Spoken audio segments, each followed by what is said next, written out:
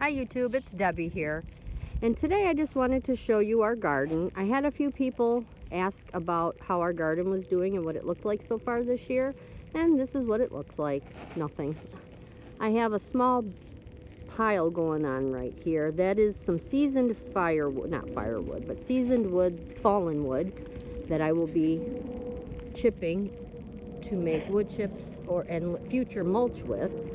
I did gather a lot of fallen debris from this year and we put it over there be well let's see on the other side of the chicken coop which you cannot see is where I have my unseasoned wood. That wood right there behind the chicken coop is seasoned from last year and the year before.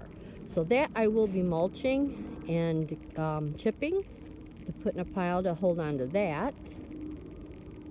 So we will be getting our chickens. We will put them in the garage probably in a big bin thing for a couple weeks under a light and then we'll stick them out here in the chicken coop. It's just been so cold. I haven't wanted, uh, I didn't want them to die so I haven't gotten any yet. But we're doing meat birds this year. Cornish rocks, I believe, is going to be my choice. And here's the garden again. And then bear with me. I hope it's not too windy. We're going to swing this way. There's Jade. You're going to go down on the ground. I want to swing you around this way and show you. I have a small pile here of mulch slash wood chips. This has been here for about three years. I purposely have just left it here to see if it would just do what it wanted to do. Last year, we did get a morning glory vine out of it. Now, I'm thinking this year we may get a couple tomato plants, and I'll tell you why.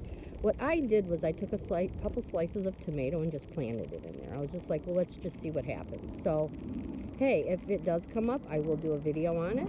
Now I'm going to take you back around this way very slowly. Bear with me. We have my Zen garden over there, which is my herbal garden on the side of the house there yeah, look at my husband's junk all the way over. That's his side of the house, all the way on the other side there. All the junk is his. okay, I have my little greenhouse that I haven't opened up yet. And I have grapevines growing there in between the two posts, which I will be doing a video on those when they start to come up and flower. I'm going to plant my pole beans against that little fencing there, as well as my loofah gourds. All right, let's swing back around this way.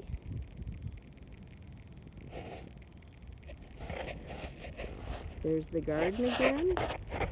And like I said, what I plan on doing is getting that together, but I'm not doing nothing, no planting till after Mother's Day. I'm scared to, for it to freeze.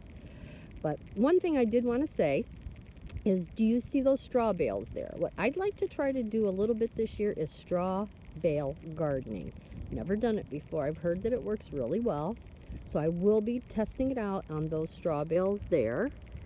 Uh, they've been weathered. I don't know if they were supposed to be, but hey, they're weathered.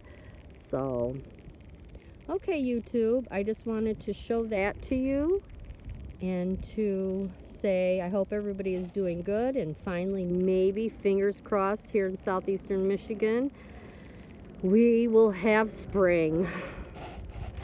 Peace and love.